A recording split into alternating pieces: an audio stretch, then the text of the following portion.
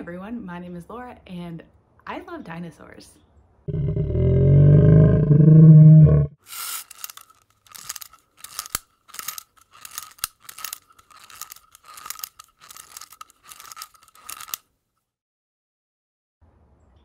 Like a lot.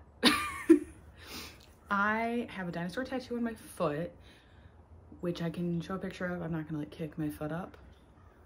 Uh, this is Tristan. He's a squishmallow and he's a triceratops and I love him. And when I heard that the next Wayward Children book was going to have dinosaurs, I was so excited. Like you don't even know. And then when I got the e-arc of it, I was floored. Uh, I've requested arcs for every Wayward Children like the past three or four years and I've never gotten them. So to not only have gotten one and then gotten the one that I have way too high of expectations for was so great.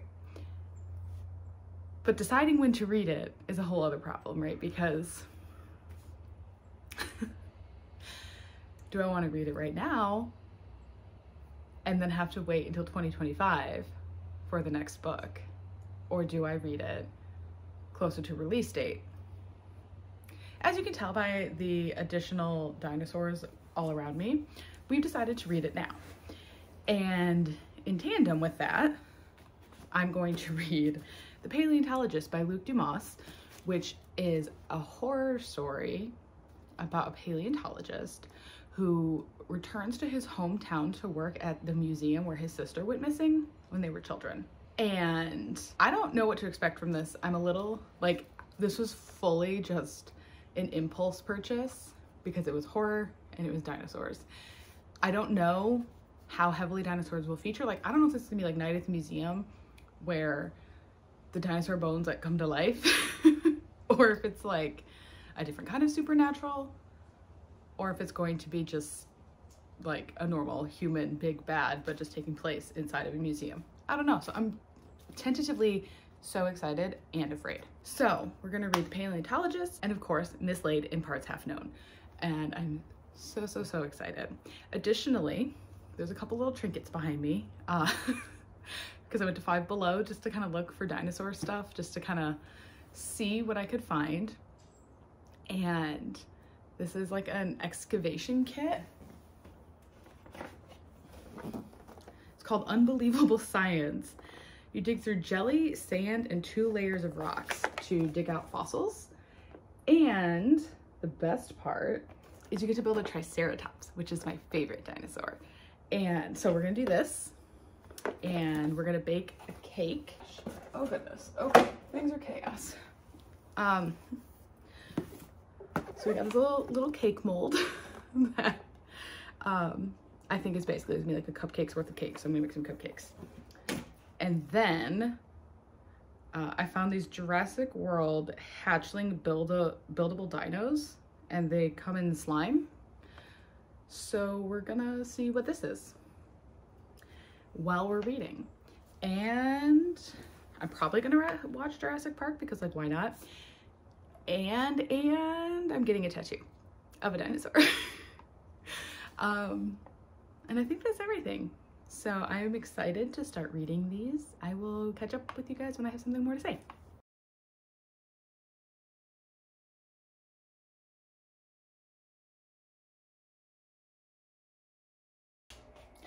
My house smells so good right now. and the dinosaur, I did overfill it. Love that for me. I didn't, um, it didn't spill, so that was good. But he's very fat. So those are the beautiful cupcakes. Eh. This is our chunky little dinosaur. Chapter 2 Inside these hallowed halls, find death. Simon lingered in the entrance hall, attempting to contact his supervisor in defiance of his phone's remonstrations of no service. The best he could manage was to tap out an email requesting clarification on what. But I decided the second I got back from my walk, it would be a good time to frost the cake. What matters is I actually started reading my book finally. And I am three chapters into The Paleontologist. And I'm hoping it gets better. like, I don't dislike it, but I'm not immediately hooked. Simon is, has this job, this new job in Pennsylvania. And he is the like local paleontologist for this museum in Pennsylvania. And today is his first day and he gets there and there's nobody there. Can't get in, banging on the doors. And finally a janitor comes and opens the door and he's like, bro, we're closed. Um, it's a pandemic. Not sure if you're aware of this, but we're not open. and he's like, well, I have a job. Today is my first day. And the janitor's like, well, that's weird. No one told me that. And also everyone but me works from home. So, um, what are you doing here? And so like, that's weird, right? Why would, oh, the dinosaur's head. Why would you, um, hire this guy and then not tell him what to expect on his first day or like what he's supposed to do or where he's supposed to go. Can we get down, please? And so all that's weird. And mind you, Simon has been telling us that he had red flags from this interview and he never thought he'd come back to Pennsylvania because turns out this is where he grew up. And he never wanted to come back, but for some reason he took this mysterious job. And it's screaming red flags at him. Uh, this looks nothing like a dinosaur now. I made him green. it's, for $5, it's great, but uh, it, the green was kind of unnecessary because you can't tell what it is. But that's okay. It's going to taste great. And yeah, so he's kind of like, okay, janitor, what should I do? And the janitor's like, well, I don't know what to tell you, but like, definitely don't go chasing sounds. Like, if you hear something, no, you didn't. And that's weird. I'm assuming because it's a horror novel, something goes bump in the night. I don't think it's going to be the janitor. And then we find out that actually, not only did he grow up here, but his younger sister went missing in this museum. No one knows what happened to her. My guess is it's the bump in the night thing. And so he obviously never really wanted to come back. So why he took this job, we don't know. And then we found out that his mother is um, not a great mother. She has a lot of problems and his aunt finally intervenes after his sister's disappearance and takes him away to Chicago where he then finished growing up and going to school and working at a museum there until now he's suddenly back in tiny town, Pennsylvania. And by tiny town, I mean, I don't remember the name of the town, but it's a small town where everyone kind of remembers him, but he's pretending like he's never lived there before, just like, nope, it's not me. And they're like, okay, well, we know it's you, but like, we'll let you pretend. So that's all I really know. And it's fine. Um, I'll be curious to see once like the mysteries get started how I'm gonna feel because there was one spook out where he was looking in a like the glass and he saw something moving behind him and then when he turned around there was nothing there so I'll be very curious to see what that was and like expectation wise do I want the skeletons to be alive and causing mischief. Kind of. But for that to be the case, there's got to be a good payoff. And I don't know what a good payoff would be if the dinosaur is. Because, like, if you're getting chased by sentient bones, that would be terrifying. But also, like, it's just bones, right? I feel like that's not super hard to like battle. It's just bones. Now, granted, if the jaw gets you, that's where you're in trouble. But they don't have any, they don't have a lot of mass and they have a lot of ways you could tangle them that you couldn't necessarily tangle um, a solid creature, right? So I don't know what I want the big bad to be or where I want this to go. And I suspect that the sister going missing is the real mystery. And because she never showed up again, I'm feeling like she was kidnapped and not eaten by dinosaur bones. So I'm assuming that there is a corporeal human um, big bad. Okay, so I've read nine chapters. That's where I stopped. And I am way more invested now than I was like an hour ago. So that's really good. And what we're learning is that Simon's, she's sitting there purring at me. Look how cute she is.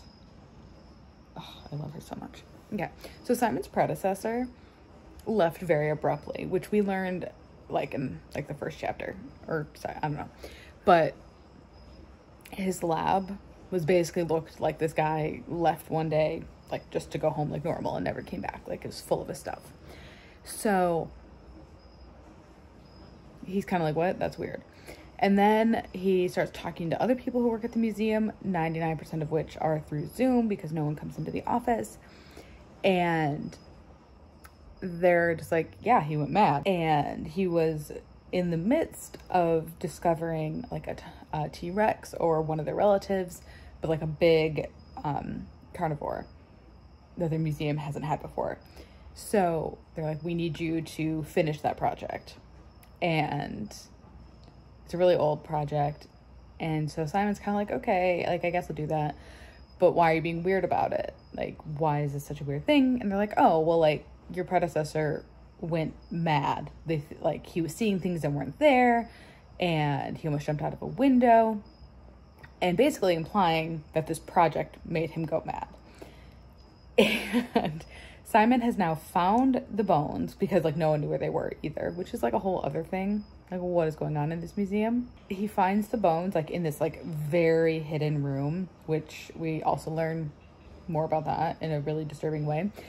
And we're just now getting to the part of like, is Simon getting, I don't want to say possessed by the bones. That's not exactly right. But like, are they affecting him? Like, is there something going on with these bones? Or like, is Simon just kind of dealing with the traumas of his past? And also something that makes a lot of sense now, um, that this being a set during the pandemic, like late 2020. So when everyone was going stir crazy. Everyone was very fearful. People were, um, people were dying. There was no vaccine. So, you know, all kinds of just agitation. And, you know, is that all catching up with Simon or are these bones haunted?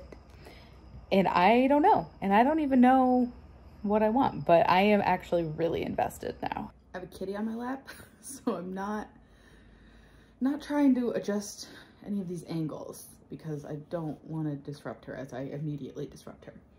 Um, I'm getting very invested. I'm 16 chapters in, which is like probably 25%. And um, I'm actually listening to it on Spotify a lot because I'm playing Coral Island at the same time because I just remembered that the full game's about to come out and my the only thing you can keep from the early access is your like net worth. So I'm trying to sell all my stuff and get through everything. So I'm doing some farm cleanup. Anyway, uh, two things that I wanted to talk about is the fact that uh, Simon's boss wants him to put together this skeleton that Dr. I think his name is Dr. Mueller. Is that what it is? I think so, Dr. Albert, Albert Mueller, he had found that not Tyrannosaurus skeleton. And so Simon's boss is like, hey, like you can reconstruct this, right? And Simon's like, no, I need a team of people to do this. And he's like, but no, like you can do it. Like we we don't have a budget, so um, we can't hire anyone else. So you have to do it. But you've done that before, right? And Simon's like, no, I, I have not done that before. And his boss is like, well, that's not good. We assumed you had because you're a paleo whatever. And Simon's like, yeah, I'm a paleontologist. People who physically like set up exhibits and like put the skeleton. Really, Stormy? I did everything to not let you run away. Oh, Nuge, are you gonna take her spot? Okay. Anyway, so this boss is just like woefully unaware of what he does. Um, and Simon's like, if I were to do this by myself with no experience, it's gonna take me a minimum of two years to get it done. And his boss is just kind of like, man, you suck. it's like that is that's so relatable though to have a boss who has no idea like what your job is, even though they hired you to do the job. So I can relate. And then the other thing that I've missed out on by listening to the audiobook. So um it's a really good audiobook. I actually really like the narrator and the way he's like there's like sound effects um because like is he being chased by phantom like sentient museum creatures? Hi Nug. I don't know. But he's reading through Dr. Albert Mueller's journals and also, I love that because I feel like we're going to see his descent into madness and I'm here for it. But to distinguish his journals, they have um, this different coloring to them, which is nice. And they tell you like that they're full, they're from his journals. But like there's all this artwork of dinosaurs and I'm missing that because I'm choosing to listen to it. So like if you read this, um, I think Kindle or physical is the way to go because of the pictures but it was free with my Spotify, so um, I'm listening to it so I can uh, snuggle the cats. They've switched places. This is Nug. Nugget came to visit and play my game. So I'm gonna go keep listening and keep playing.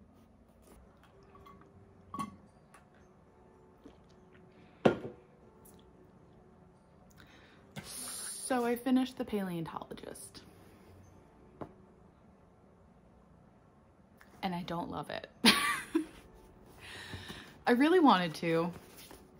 Um, also, this has nothing to do with the content of the book, but like, I barely opened this book because I listened to so much of it on Spotify. Why is it so, like, whoever is making covers like this, stop it. This, like, this was doing this before I opened it. Like, why is it so, I want to say malleable? Is that the word? but like it shouldn't curl this much ever, but especially when I've barely touched it. Like, and just as a side note, when I bought it, I fully thought I was getting a hardback and that's on me. Um, I don't know if it didn't come out in hardback or if I just am stupid. Both are plaus plausible. but I'm gonna stop holding it. I didn't like it. Like, it was fine and I'm gonna be honest, I don't know how you can tell a story with dinosaurs in the present day and have it be believable because dinosaurs aren't currently roaming the earth. So I think how they included the dinosaurs was good.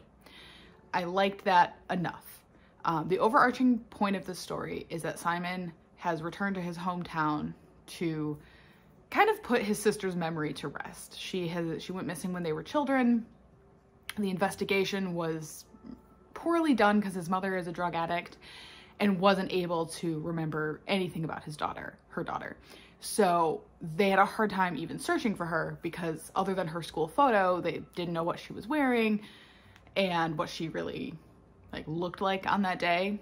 Like the mother didn't even know her daughter's eye color although that seems like that could have been easy to find that's neither here nor there. And that's not that's not even a judgment on the book. That's just like shitty police work right? So that's like the main story. And that is on the cover. I knew going in he was looking for his sister. But when you tell me it's a horror story about dinosaurs i expect more dinosaurs. Uh, and I don't even know that this, like, I'm having a hard time trying to articulate why I'm disappointed because I don't even know if it's really that bad of a book. I think my expectations were just too different to what the story wanted to be. And the other things I had an issue with, it's set during COVID, which makes sense because they wanted the museum to be empty with a plausible reason and to kind of give financial strife as to why the staff is so bare bones. um, and that all worked, and I didn't mind that. But what I did mind was the constant, constant, constant, constant reminders of COVID. And again, not inaccurate, but not something I'm personally ready to be just reliving so intensely. Like every, like constant talking about the masks and the six feet rule and like people being wary of handshakes and all of it was accurate and not even poorly included. Like I do actually feel like the way it was discussed was realistic. I just didn't like it. and that's on me. I don't, I think. Um, I would need to probably read more reviews about it, but it just, it was too much for me. Like we're barely out of this pandemic and like it's not over, like not realistically. And to just kind of be reminded of it was just too much for me. so we've got that going on. And okay, so here's a weird thing. This book was blurbed by AJ Finn, who wrote uh, The Woman in the Window. that really should have been its own red flag because I didn't love that either. We probably could have had less COVID. So we're following Simon trying to figure out the mystery of his missing sister. All the while reading these journals from the previous paleontologist who is clearly losing his mind and is convinced he is seeing things, um, mostly the dinosaurs coming back to life at night. And there is this like, is he seeing this or is he insane? And that does get answered, sort of, um, in a way that makes sense. so, I mean, I feel like it's answered even though I don't know that we got a concrete answer. It worked. But then by the end, you get the villainous monologue that was so, it was just exposition for exposition's sake. And there was this moment, and like, I don't know, like every, this is a spoiler. So if you care. But in every movie, book, everything, every storytelling medium. When someone is villainously monologuing to you and over insisting that you drink the drink that they prepared for you, it's roofied. It is always roofied and or poisoned. Always, without fail. So why do we keep doing it? It's not a secret. It's not like Simon is sitting there getting exposited to. Meanwhile, this villain is like, oh, you're not drinking your tea. Hey, you haven't touched your tea. Hey, you want to drink that tea? Like, dude, you are literally telling this man about all of these atrocities that you've committed. Why would he drink your tea? And then the dumbass does. Why? Why would you drink it? Even, even no, there's no reason Simon should have drunk that tea. None. Because if your only concern, and he does not have this inner monologue, but like Simon is intelligent for the most part throughout this entire book. And then he just drinks this tea and has no second thoughts about it. Like there's even a point where Simon says, "Oh, they added something to the tea or some the milk or something," and he didn't see what it was. He's obviously poisoning you. There was no that made me so angry. Because why? Why? You know it's poisoned. You know it's poisoned. You're stupid. And there was no reason for you to be stupid. And then, you know, he passes out. And then when he wakes up, he was just miraculously saved by a very, very decrepit old man and someone who had fled the scene earlier for unknown reasons. Of course, they came back, but it was all just like, I don't know, he was very passive, which I didn't like. like so that all so that was that turned me off and then after that whole scene and then the kind of wrap up with how he got saved. Then there is what feels like an epilogue of just like, oh, and in in the short future, these are this is what happened to the museum, this is what happened to the people in the museum, how their jobs changed. Um, all of that, which feels like an epilogue. And I knew it wasn't because it didn't say epilogue. I was like, okay, it's probably the last chapter. And then it just keeps going and going.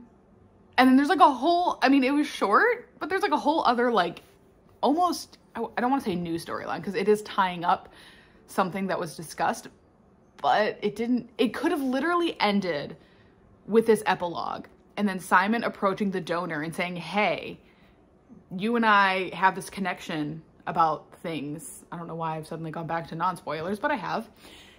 And so we have this connection about this thing and I need a research trip to Colorado. Can you fund it? And the donor says yes. That could have ended it because then you know, okay, they're tying up that storyline. But instead, we have to go to Colorado, have more conversations about this connection, and then another year passes. and it felt so unnecessary. And then there was an epilogue. Um, and then, okay, back to spoilers. I don't know anything about making bone china. I also probably naively did not realize that um, it was ever made of bone. I don't know if it still is. It probably is. There's plenty of bones to be found.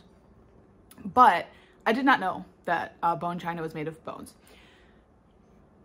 But the way this villain talks about how to make china out of bone, he says that he wanted an adult, but he would have he would have been satisfied with two children to make this china, which is why he abducted the sister and then he was unable to abduct Simon. And then they find the sister's skeleton, but she didn't have if if your concern was that you didn't have enough bone from one child to make this tea set, how did she have leftover skeleton? And then her skeleton is in the museum in a way that implies that it was a full or full enough skeleton. So did you not use all of her bones? And okay, so that confused me. I did not look into how to make bone china. That might answer my question. Do you not use the bone? Do you like, is it like the marrow? Like, is he extract? Like, I don't know. I don't get it. But what I feel like I am understanding is he used her bones to make bone china, but somehow had enough bones left over to leave her skeleton behind. But he had a whole tea set of her bone china, like a whole set. And his motivation, can we talk about that? His whole motivation was to talk to his mother again because she died in a car crash and he wasn't able to say goodbye. So he just starts killing people to make bone china to communicate with her through, um, I believe it was a Zulu tradition, I think is what he said. And I'm not negating that practice of the Zulu tradition of, I think they, I think he said that they use bone china to communicate with people who are gone. I'm not negating that tradition. I am, I have a big problem with his motivations of, um, I wasn't able to say goodbye to my mother and now as a seemingly elderly man, he's considered to be geriatric, so 60 plus. Uh, and he was young. It's been, I think, 20 years at least since the sister died. So for a minimum of 20 years, this man has been just chill with being a murderer to say goodbye to his mother. I have not lost my parents. I have been very fortunate. I have not lost a lot of people in my life. Um, and I would be devastated to lose someone and not be able to say goodbye. I am not negating how hard that would be. Um, and if my mother died unexpectedly, I would be crushed. Uh, I would not murder people as a response to that tragedy. There's a huge disconnect there. Uh, because yes, would I want to say goodbye to her? Would I want to talk to her again? Absolutely. I would go to a psychic. I would maybe fall into religion. Probably not. I'm fairly atheist on that. But like, I would do a lot of other things than murder someone to make china. His idea of using animal bones to make bone china, that was a little weird because like you're still murdering animals. Like I don't know how you can stomach that. But that at least is like, okay, I could almost see that. You don't murder children to say goodbye to your mother. That is Ill- your mother, I assume, would not be happy about that. If my mom found out, if she died unexpectedly and then found out I turned into a murderer to talk to her again, she would be so mad at me, she would recorporealize to murder me. Are you kidding? That would not make her happy. like, so his motives, like, could he not have lost a child? That makes more sense to me than your parent. And not because you can't love your parent fiercely, and not that your parent can't be your best friend, but you know you will lose them. As a matter of fact, you grow up knowing that fact. Um, so I don't know. Again, that is a place of privilege I am coming from, that I do not know loss like that, uh, for which I am currently quite grateful for. But it's still a weird motivation. No parent would want their child to turn into a murderer to say goodbye to them. No one. That's not how parents operate. So he's just a murderer using this as an excuse, but we don't go there. So anyway, I hate all of his motivations. I hate everything about that. And then he exposits for so long that I was, I, and I don't know, like, obviously you want the answers. I don't know how else, I'm not a writer. I don't know how else to get them, but I do know that I don't like exposition dumps, which is what that was. Um, yeah, so that was a flop and a very disappointing first book. I feel like it's a two star. I think it was three stars before I started talking, but then I got really angry about the ending. So I think it's a two star and I'm not happy about that. What do you think, Stormy? She's sleeping. She doesn't care. She listened to that ending too. She is not nearly as outraged.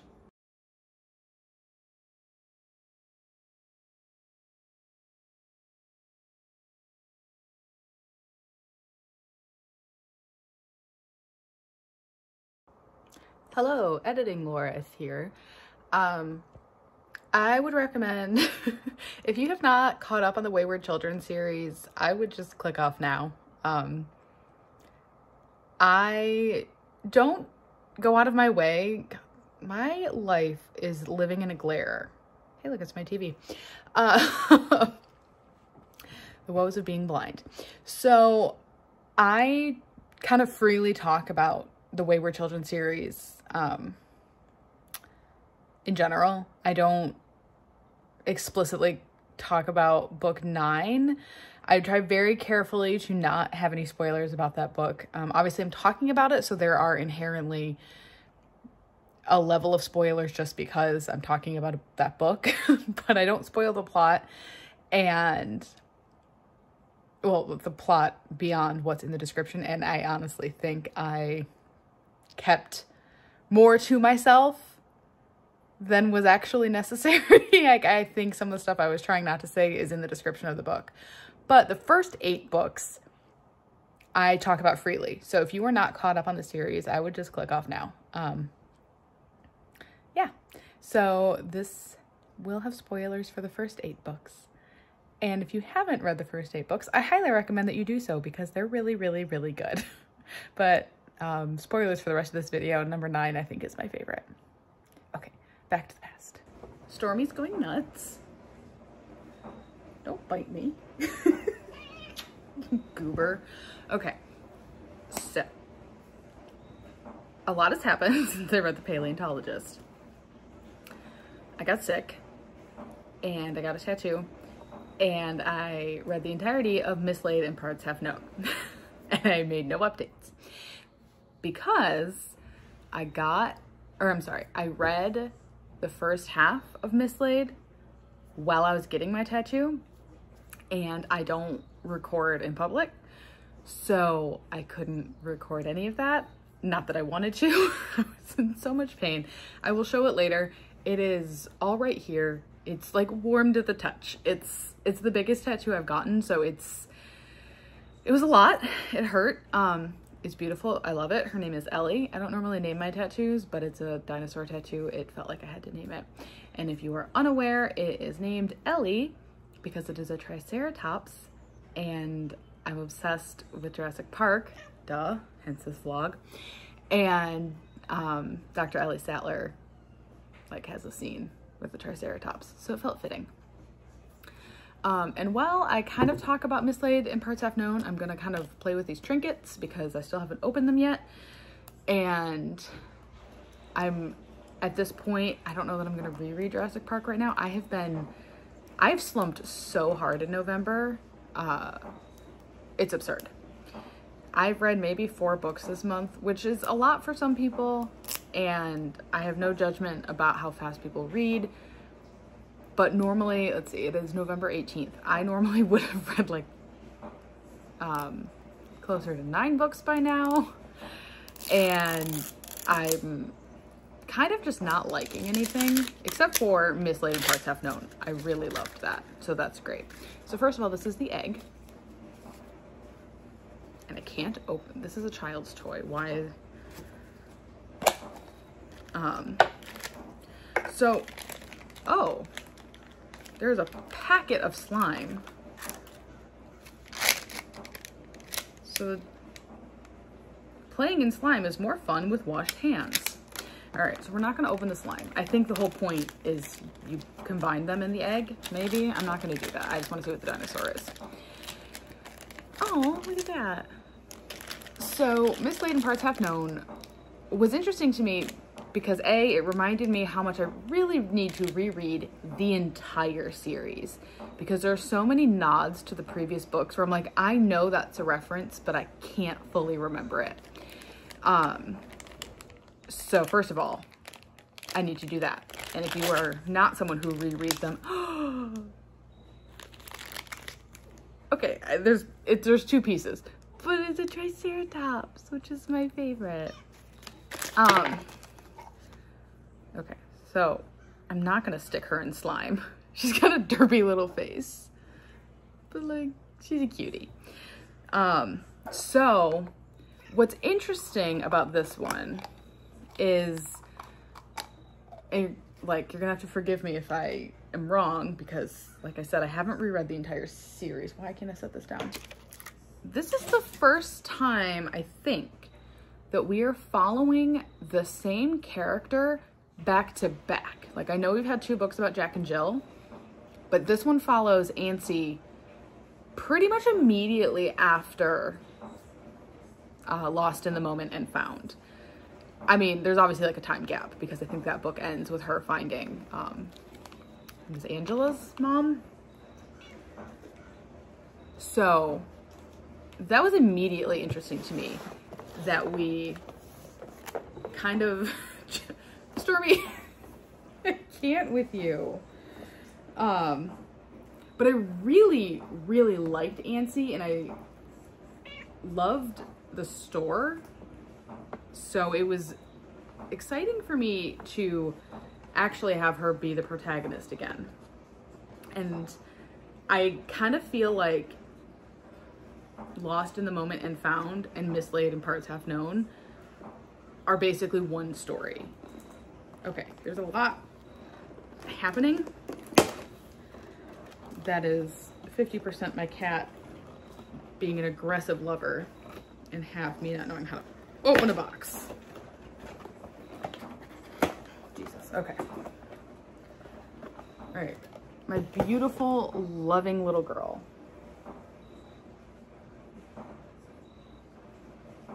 Can we be affectionate somewhere else? What are your thoughts? I love you too. Okay, now please go that way. Thank you. Oh good, this is gonna be such a mess. I should not have planned to do this with absolutely no anything on my table. But like, okay, oh no, oh no. Stormy, that's not a toy. Um, well, it is a toy, but it's not a cat toy. No! Oh, God. Oh, goodness. So, oh. Oh, does They go on this thing. I could read the instructions. They're not instructions. cover your workspace with a work, cover your work area with a newspaper and wear old clothes. I'm gonna wear my favorite sweater, not cover my work area. Um, the tool will help you start digging. Thank you. It's, I am assuming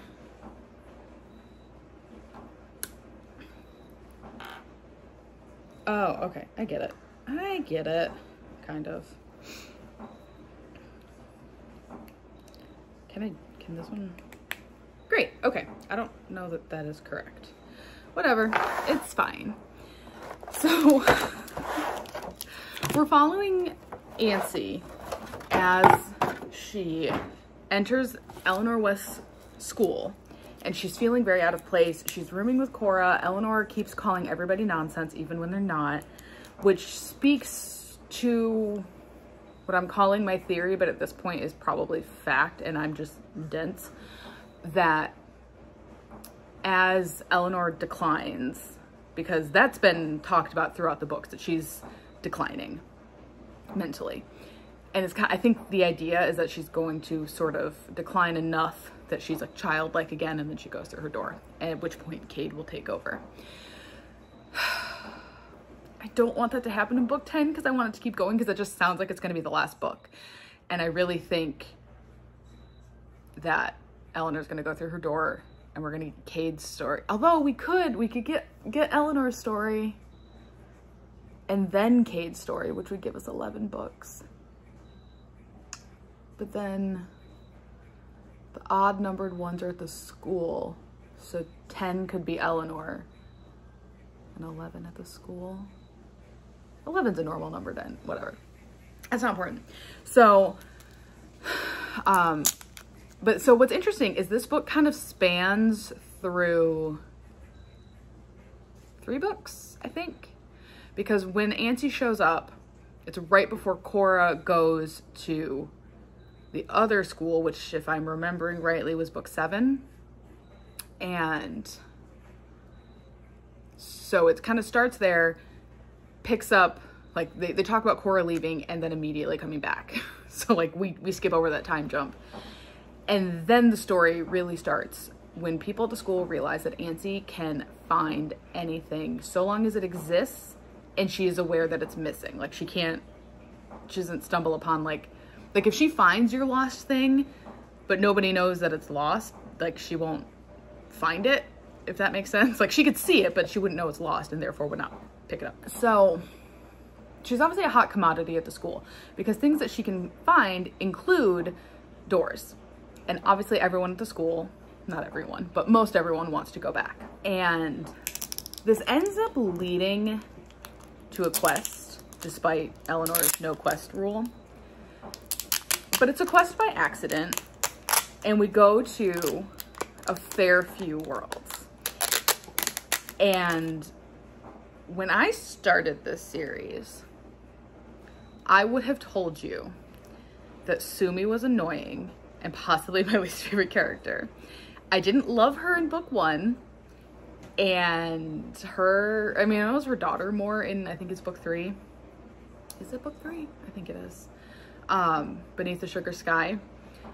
But like, in general, I kind of found her annoying.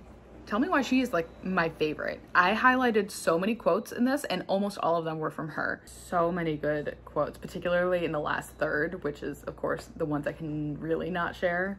Uh, okay, this is one of my favorite Sumi quotes. People who can't change aren't really perfect and no, and no matter how much we love, and no matter how much we love it somewhere, that doesn't mean it's good for us. And the context of that is important, but like it's a good quote on its own. She also has a good part about talking about somatic satiation, which, or I'm sorry, semantic satiation, which is a word that I learned maybe, or a phrase that I learned, I think maybe high school, college, because it is a phrase you're familiar with even if you're not familiar with it, where if you say a word too many times, it loses all meaning. And the phrase for that is semantic satiation. and I love that she talked about it. It's really kind of like a non-plot point, but just everyone has experienced that moment and not everyone realizes that there is a name for it. So I love that that's in there. And then two other ones I think that I can say were perfectly normal in the right environment. And if that is not just, oh, oh no, um, just so accurate because how many times do you feel like imposter syndrome or just out of place? But in the right environment you're thriving. And i think that that is just a super important thing to keep in mind. Like you may not be normal in every circumstance but you're normal in the right environment. And i think we need to keep hold of that and the last one is not really anything i just liked it which is faults like salt it spreads around oh there's a bubble i don't know what i did but i got a bubble Okay, I didn't, oh, I did pop it. Okay. So, we've, have I even talked about this book? I, I wanted to read this because of the dinosaurs on the cover. If you're going into this expecting a dinosaur book, kind of disappointing. Like, dinosaurs are in it. And the way that they're in it, the way that they're used, I loved. I think it was a really good and probably the only way in a story like this that you're going to uh, be able to use them. I thought this would be bigger. Not gonna lie, this is a lot of slime for that to be the only thing in it. This was $5. And so it's not the dinosaur book that I was expecting based on the cover, but I don't think you can really include a lot of dinosaurs in a world of humans. Like, unless you make them talking dinosaurs. And like we always have Hudson from the store, who is a talking animal, so it's not outside the realm of possibility to have talking dinosaurs. But at what point is that cheesy? So I think they were used appropriately. But if you're going into this expecting kind of like a Jurassic Park level adventure, it's not that. But I really did enjoy it. Um, and it's also really making me want to reread book seven or whichever one is at the, um, is it where the drowned girls go? The one where they're at the other school. Is this just a rock? Did I just, did I just find a rock? Am I Charlie Brown? I got a rock. It's a rock. Um, oh, oh, there's a fossil. Okay, that's cute. We get to follow our questers, which is kind of how they're known at the school because they're the only ones that ever go on quests. So it's like your main crew, Christopher, Cora, Cade, Sumi, and kids from the new school. And, oh God, this this one, this is gonna be messy.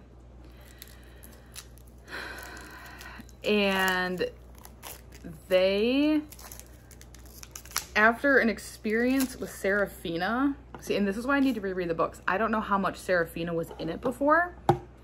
Oh, wow.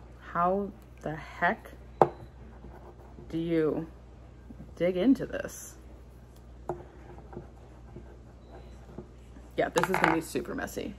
Um, so Sarah, thank you. Seraphina finds out that Antsy can find doors and because she has this ability to essentially persuade anyone to do anything because of essentially how beautiful she is, um, she tries to corner people into doing things for her and she traps Antsy and is trying to get her to open her door and the questers come and save her. And then to escape from her, Antsy opens a door. And that leads to a multi-door adventure. And I'm not going to tell you where they go because that was so much fun discovering. Like obviously one of them is a world with dinosaurs. Like that's that's a given. I won't I won't deny that. But the other doors are very interesting and gives me a lot of hope for book 10. But since I don't want to talk about where they went, I will get back to the dinosaur world in a second. I kind of, I really want Seraphina's story now because Antsy, having spent so much of her time with doors, has learned so much about, um, I think they call it a nexus, just like what these worlds are, what their doors look like, what people, um, who, like, she can kind of determine where people went or like, you know, she, she knows Cade went to a fairy world. She knows Cora went to a water she call it a water world? Um, but she then says Seraphina was in a water world. And Cora's like, no, she wasn't. Like, girls, you know, dry as a desert. And she mentions there's this other world. I have bent this tool. Um, where there are essentially people who live on boats. And there's also, of course, you know, water people. They don't specifically call them mermaids, so I don't know that they are mermaids. But like both can exist. And so she thinks Seraphina was at one of those worlds. So now I really want to know more about that world and how the heck I am supposed to like this is this is literally a rock. So I'm very curious about her and that is someone I'm going to be paying a lot of attention to on a reread to see how much she is talked about because I want her story now. But through trial and error, we end up in the dinosaur world. I think that's all I want to say about that. And we come across someone from the past whose story I actually don't remember. Uh, she hasn't had her own book, but she was mentioned. She was a, she was either mentioned or a character in another book. And because my memory is not great. I don't remember her, which is another reason why I want to go back. And she has this whole speech about how living in this world of dinosaurs as the only mammal is actually the perfect world for her. and I think that's incredibly interesting because she talks a lot about how, like, what being social means and what loneliness is and how there isn't one right way to be social. There isn't, like everyone's opinion on the matter is completely different. And just because you think she might be lonely doesn't mean she is. Like she has learned how to cohabitate with these dinosaurs and she knows how to communicate with them. Like she's not lonely. Even though, you know, to an outsider, how could a human survive in a world that is populated only by dinosaurs. And I think that had a lot of interesting conversations. I really liked the way that uh, Seanan described the dinosaurs. She went with the, the feathery description, which was nice, since Jurassic Park, even the new ones, really didn't. And am I even making progress? And I don't know, that world was really interesting and we spent the correct amount of time there. Although I would not mind getting this girl's story of how we got there and how she kind of learned to survive there. Because I think, oops, all that to say, because the book is not out yet, I don't want to spoil it um, it was probably my favorite of the series. Antsy, I think, has one of the most interesting stories because she had a very tragic childhood, both at home and at the store. And then she goes to the school where her headmistress is kind of losing, not losing her mind, but she's fading and all of the students effectively just want to use her so they can get to their own doors without caring what that means for her. Because what these children don't know is that the doors take time off your life. And it doesn't matter if you're only going through once or twice, that's only a couple days. You're really not going to notice. But Antsy, who is a teenage nine-year-old, um, is all too aware of the price and obviously oh, that was so stupid. Doesn't want that life. And I liked how her story ended. And I really liked the epilogue. I think it was a well-deserved epilogue. And I'm devastated that I'm going to have to wait till 2025 for a new story. But I'm not disappointed that when this book comes out, I'm going, like officially, I'm going to reread the whole series because I'm hoping Barnes & Noble does another buy one, get one half off sale on hardcovers and I can maybe complete my set. That would be nice because I have three. I need all of them. So this, dis where did that go? Okay, so we're gonna ignore this mess. this is not the project I thought it would be, which is stupid. It's exactly as advertised. All that to say, I have not really talked in depth about this book because I don't know what to say about it that isn't gonna spoil it because it's so short. Um, and I want people to experience it on their own because there's a lot of things in there that I was like, oh, that's really interesting. That's really, I want to say surprising. I don't know if that's exactly the right word. Like, granted, I am not someone who frequently she's like, oh my God, when I read like that, I don't usually have strong reactions. I do think, I do think people will have that reaction. That is also not a toy, my girl. I think that could, I think people could have that reaction to some things in this book. And I don't want to take that away from them. So my final thought on this book, it's a five out of five and it's really good. It has dinosaurs as advertised, perhaps not as many as you were thinking, but they are there. Antsy is one of my favorite protagonists. And I'm excited and a little bit afraid of where the series is going to go but like afraid in a good way because my fear my fear is that it's gonna end and I'm not ready. So I am hopeful. Oh my gosh. I don't know why or what the story would be, but like, what if this is like a Murderbot situation where it's a bunch of novellas and then all of a sudden we just get like a full novel? I don't, I don't know. These work so well as novellas, I don't even know what a full novel would be about unless it's like Eleanor's full story from like being a child into like starting the school and helping Cade and like all of that.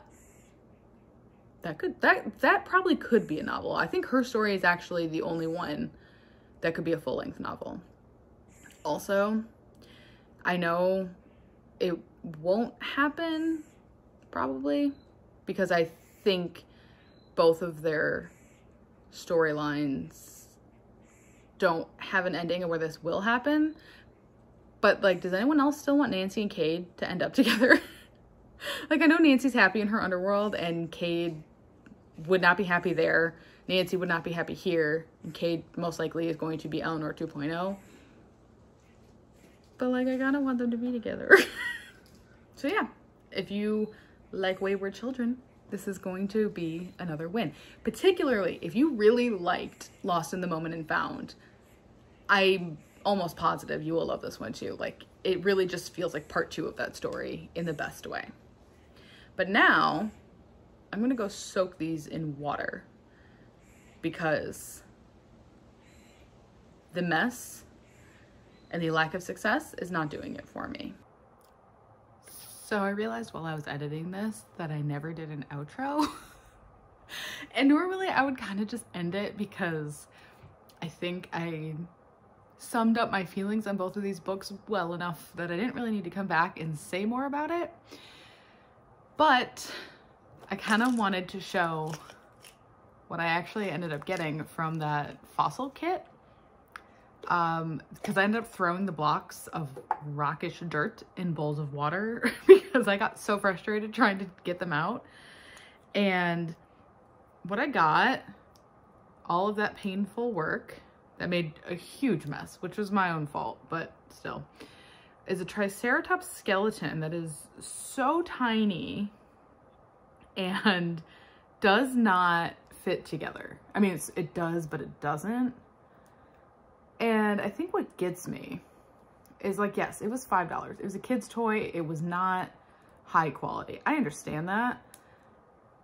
But like, I've gotten a better quality toy from a Kinder Egg. And that's cheaper. so why is this? And I'm not going to go pick it up because I'm like really cozy. But like, I have a Triceratops skeleton from a Kinder Egg. That, so this is, this is garbage. Um, so I got that. And I got my very tiny little Liopleurodon thing. Is that a Liopleurodon? Anyway, this, this little guy. And my Charlie Brown rock and my little fossil. That conceptually was cute, poor execution. My favorite is still this derpy Triceratops that actually came in this egg. I just have them all together. So yes, those are mostly, those are my stupid little trinkets. They will probably not end up on my dinosaur shelf because I don't like them very much. Except for the one, the derpy and the egg.